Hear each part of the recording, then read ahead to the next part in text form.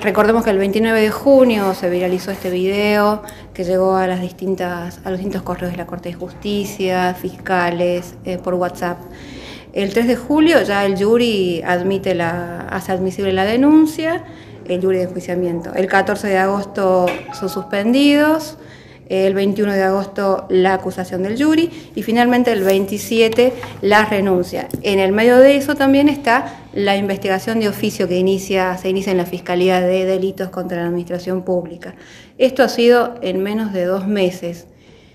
¿Qué podemos decir hoy, doctores, en cuanto a esto? ¿Qué, se puede decir? ¿Qué se buscó con esta maniobra, si se le puede llamar de esa manera? En principio, perdón Gaby, lo que cabe, expresar en principio que lo que siempre se pretendió era que se escuche. Bien. Porque no, lo digo yo ni lo dice el doctor Dapra, sino que lo dicen las convenciones internacionales y supranacionales. Eh, habida cuenta del resultado de la pericia, se ha demostrado fehacientemente que no se nos escuchó y el resultado de, llevado a cabo por Gendarmería en Buenos Aires, en extraña jurisdicción, determinó que el material es editado, es producido, es manipulado, no tiene metadatos, no tiene integridad. Al no tener integridad, no tiene autenticidad ni veracidad, por lo tanto es falso. Entonces, estuvimos en presencia de un instrumento falso, introducido y con una velocidad de, un rayo, se admitió sin ningún tipo de, de posibilidad de, defensa, violando todos y cada uno de los pactos internacionales. Y para toda aquella persona que quiera decir que uno dilata, chicanea, obstruye, no, simplemente uno quiere hacer respetar sus derechos y lo demuestra el resultado de la pericia que hemos tomado conocimiento a través de la notificación. De una pericia que viene a confirmar la de ustedes también, que Exacto. presentaron aquella vez. Entonces, por una cuestión lógica de derecho, y lógica también, el derecho es lógica, se inició una investigación en función y en base a un material falso, a un material manipulado, a, un material que no se sabe de dónde se extrajo, cómo se extrajo, con ninguna posibilidad de veracidad y autenticidad, o sea, no es veraz ni auténtico. Entonces, hubo una, un direccionamiento y una presión muy grande hacia hacia nosotros, hacia nuestra familia, esposa, hijos. ¿Desde dónde, padres. doctor, usted piensa desde, No, desde, no, la verdad que desconozco, eh, sería materia de investigación, pero eh, los distintos medios receptan lo que, lo que ven como, comunicadores sociales y uno al abrir las páginas de un diario y ver situaciones adversas en función de no ser escuchado, porque así fue, eh, los medios reflejan lo que está pasando, y lo que estaba pasando es que no éramos escuchados. Alguna vez lo dije vía Twitter. Y la verdad que da mucha impotencia no ser escuchado, pero bueno, al menos reconforta tener la posibilidad de, que a través de la ciencia se arribe a, a, la conclusión técnica que se arribó. Y bueno, esta historia debe terminar, si no ya sería un despropósito jurídico, toda vez que se comienza una supuesta investigación en base a un material falso. Y bueno, la, jurisprudencia de la Corte Suprema de Justicia de la Nación, de las distintas cámaras, de los órganos supranacionales son clarísimos. Y la verdad que de la misma manera con que con la velocidad de un rayo se nos prácticamente excomulgó, espero que de la misma manera se nos sobresea y se nos limpie el buen nombre y honor. Doctor Raúl Dapra, em, usted no había hablado antes sobre lo ocurrido. Sabíamos de la pericia que habían presentado ustedes adjuntando la denuncia contra autores desconocidos. Hoy la pericia oficial confirma esa misma pericia y, bueno, y que es manipulado este video. ¿Qué podemos decir hoy, doctor, con respecto a lo que ha ocurrido? En primer lugar, eh, como te comentaba previo a, la, que se comience con la grabación, no soy una persona práctica ni tengo experiencia en entrevistas. Y tampoco, mm, eh, tampoco me ha gustado mucho la exposición pública. Eh, es porque esa es mi, forma de ser. Eh, como juez, 29 años, siempre me he creído y sigo creyendo que los jueces, fiscales y funcionarios judiciales deben solamente expresarse a través de sus fallos, de sus resoluciones, salvo circunstancias muy, muy, muy especiales. Eh, y bueno, ese es un vicio profesional que me ha quedado y normalmente no he dado entrevistas, por eso no he hablado. Eh, sobre puntualmente lo que ha ocurrido y está ocurriendo, creo que eh, Efectivamente, no se nos ha escuchado. El derecho a ser oído no es un derecho que se agota en una presentación, sino una respuesta razonable y fundada en derecho, cosa que no ha ocurrido. Desde que se inició esto con un verdadero panfleto, porque este material que fue expuesto públicamente no es otra cosa que un panfleto, porque un panfleto es justamente una expresión anónima de alguien que no firma, eh, y en este caso la firma es de un supuesto Juan Pérez, nada más explícito que eh, en la forma en que se eh, difundió desde un mail que solamente fue usado para esto, desde un teléfono que, cuyo chip fue comprado, no sé si en Buenos Aires, no recuerdo dónde, está en el expediente para difundir eh, esto. Entonces, eh, ese panfleto, por irresponsabilidad de diferentes órganos, fue elevado a la categoría de prueba. Eh, y así se inició todo esto, en contra de garantías constitucionales que son internacionales, nacionales y provinciales. Siempre me gusta repetir porque es una, norma que durante toda mi vida he considerado eh, importante citarle, así lo he hecho en mis fallos, como por ejemplo el artículo 28 de la Constitución de la provincia, que dice que ninguna manifestación obtenida por medios ilícitos puede, puede ser utilizada en juicio o tomada como base para cualquier procedimiento. Evidentemente, este panfleto fue tomado como base. Es ilícito porque la denuncia anónima no está regulada en ninguna norma de un país que se considere republicano. Y finalmente, es ilícita también porque aun cuando haya posibilidades de iniciar investigaciones de oficio, cuando se hacen de oficio, mucho es el celo que tienen que poner los funcionarios y lo primero que tienen que hacer es hacer un análisis de los elementos con que cuentan, que en este caso era exclusivamente el video, y luego recién producir actos en contra de las personas que supuestamente están involucradas. Justamente recién a más de un año se cuenta con ese, con ese informe sobre ese video. Tienes razón desde el punto de vista oficial. Claro, pero ustedes desde el punto de vista oficial es así.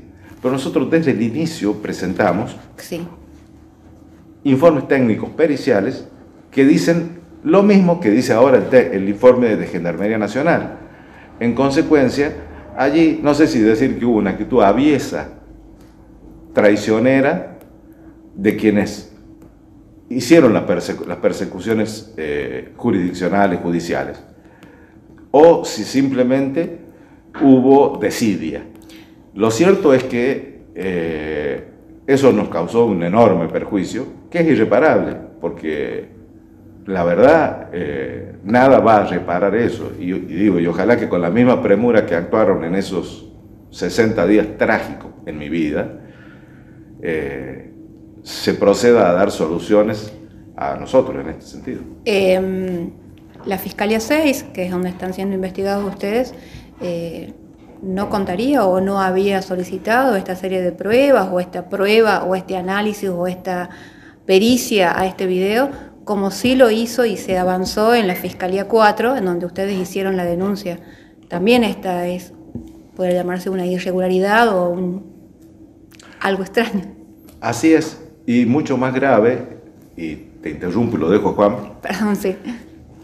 Que las enormes dudas acerca del video estaban planteadas desde el principio, porque cuando comienza a actuar el máximo tribunal catamarqueño, ya había un informe encargado por la misma corte ah. que establecía la poca verosimilitud de, lo, de, este, este, material eh, audiofílmico, como le e igual avanzar. Y igual avanzar, eh, con muchísimas otras eh, errores de gravedad eh, en materia de procedimiento, que bueno, nos llevó a, tomar la decisión de renunciar.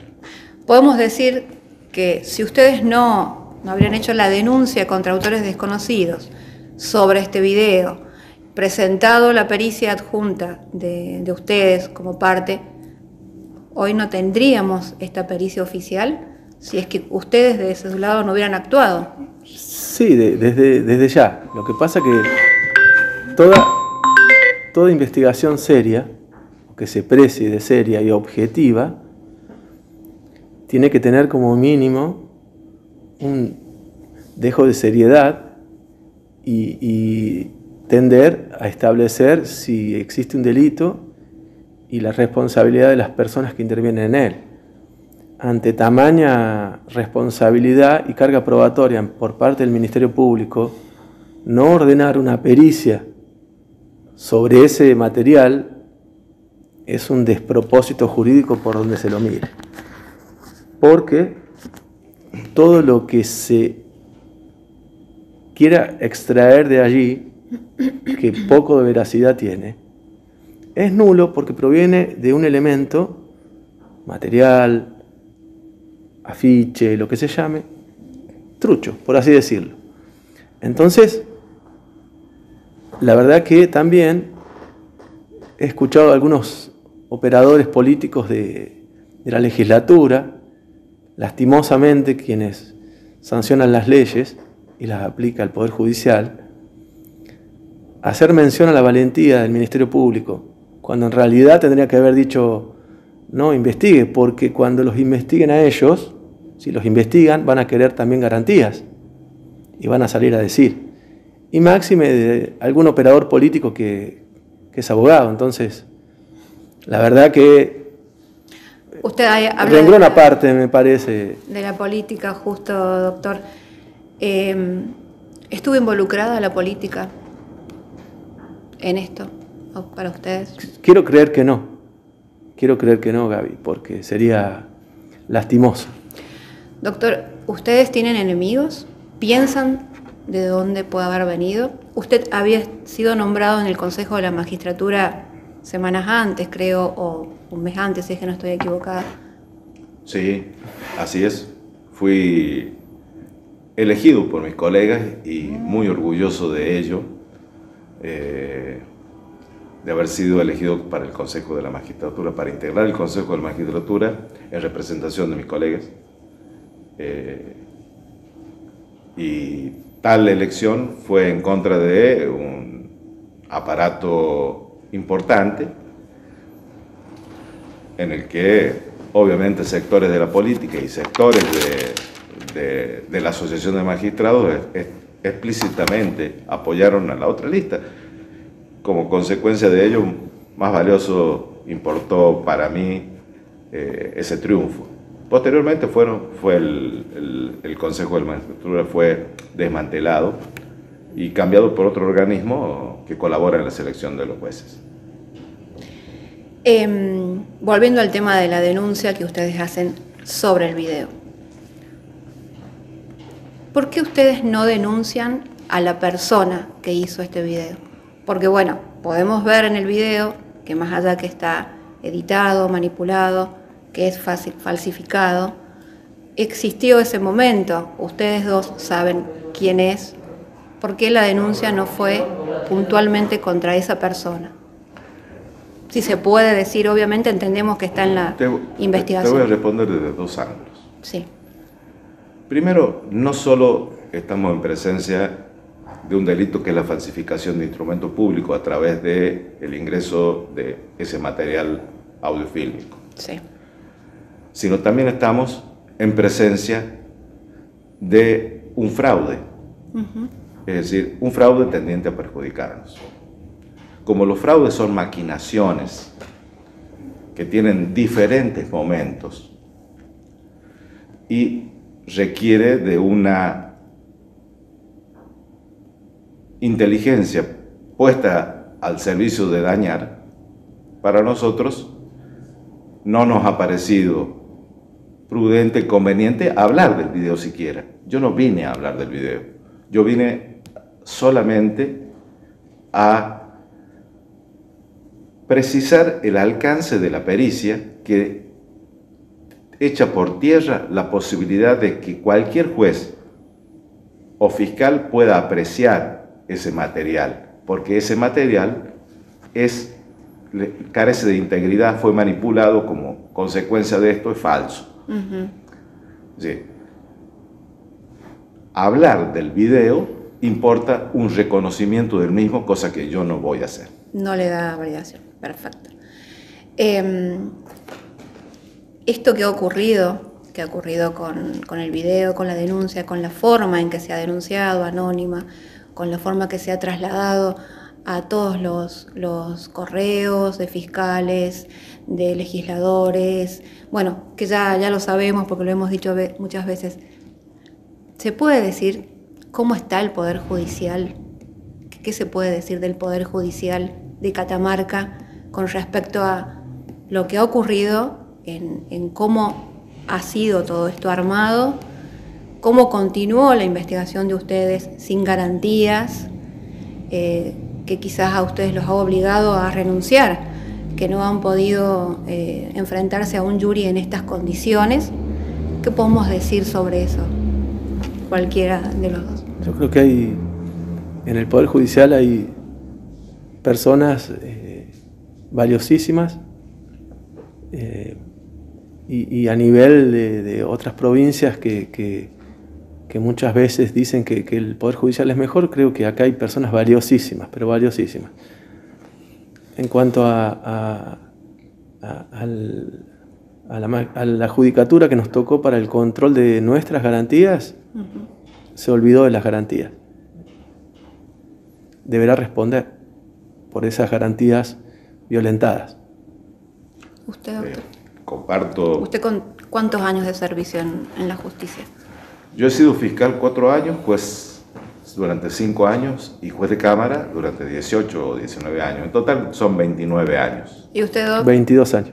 En distintos, en distintos ámbitos. Y comparto lo que dice Juan en cuanto a, que hay eh, gente muy valiosa en el Poder Judicial. Eh, y eh, obviamente que la, renuncia, o mi renuncia, eh, fue motivada por el inmenso daño que se le estaba produciendo emocionalmente a mi familia, que siempre me apoyó, en especial mi, mis hijos, mi, mujer y mi madre, que fue la más eh, afectadas por esta situación. Eh, a quienes eternamente agradezco el apoyo. Gaby, mi señora, estuvo permanentemente a, mí, eh, acudiendo a mi ayuda y contención. Y contención. Me ha generado todo esto problemas de salud irreparables, pero como decía ayer, mi espíritu está intacto. Juan, y vos, em, perdón, Doc, usted em, sigue confiando en esta justicia porque lo vemos aún eh, caminar las calles del, Poder Judicial, eh, estar en, este, en esta elección del derecho que usted ha hecho y del que siempre hemos hablado. Sí, Gaby, porque aparte reclamando, reclamando y reclamando la, que escuchen las garantías judiciales, siempre va a haber una instancia superior que va a hacer eco a las garantías judiciales si son ciertas y de recibo. Y si la postulación de la... Entiendo que nuestra postulación es, válida porque tiene un respaldo jurisprudencial enorme. Este, y como dije, bueno, yo no, sentí que me hayan escuchado, en especial la, judicatura, la juez de control, mm. y deberá responder por no, por no habernos escuchado en franca violación al Código Penal. Esta situación de hoy publicábamos en nuestro medio eh, que ya se va a cumplir un año que apelaciones no, no pone fecha para poder resolver esta situación. ¿También se debe a lo mismo para ustedes esta cuestión de estirar tanto? Yo pienso que apelaciones ha tenido contratiempos. Eh, Recordemos que el presidente de la Cámara ha estado con COVID y muy grave y ha estado varios meses eh, sin poder trabajar. Eh, asimismo, creo que eh, se hace necesario ya darle un corte final a este tema, porque es justo, sobre todo porque es justo. Todavía no se pueden nombrar los cargos que ustedes han, han dejado está también ahí. E, ese es un tema que es, corre por los mecanismos eh, instaurados al efecto. Creo que en algún momento lo van a hacer. Claro, porque la actividad de la Cámara, a mi entender, sería una cuestión de puro derecho ya, porque ha ingresado un elemento que ya estaba, que ya estaba, nada más que no querían que ingrese, evidentemente. Si la magistrada en su momento hubiera escuchado, hubiera dicho, no, no, no, momento, no avance, que se haga esto, hubiera sido mucho mejor, pero muchas veces el, miedo puede más y deberán responder. yo, no, descansaré hasta Eso quería yo no descansaré hasta que esta magistrada responda. Ustedes van a, va a seguir, Doc. Yo, yo lo voy a, voy a seguir. se lo hice saber ayer en una audiencia y me hizo testar hace ratito lo que dije. En clara violación a la defensa en juicio. Bien. ¿Usted, doctor, también va a avanzar con cómo corresponde por las vías? Eh, digo, yo lo que pienso hacer es eh, obtener un fallo justo por parte de la Cámara de Apelaciones. Bien. Eso es mi inquietud. ¿Algún resarcimiento por todo el daño moral que han sufrido, social, que han tenido que soportar? Yo no lo he pensado aún, la verdad estoy más eh, ocupado de eh, que se resuelva con justicia eh, y conforme a las, verdaderas, reglas que establece el procedimiento y las normas de, fondo esta cuestión. O sea, no, la verdad, como te digo, el daño no se puede cuantificar. Es decir, no es un tema que se pueda fácilmente eh, valorar en materia de otro tipo de resarcimiento. Por último, Gaby, yo quería hacer un agradecimiento eterno a mi señora Virginia, a mis hijos, a mi familia, a mi madre, y por, por todo lo que han tolerado y aguantado todo esto. Han tenido que vivir todo. Sí. Muchas gracias.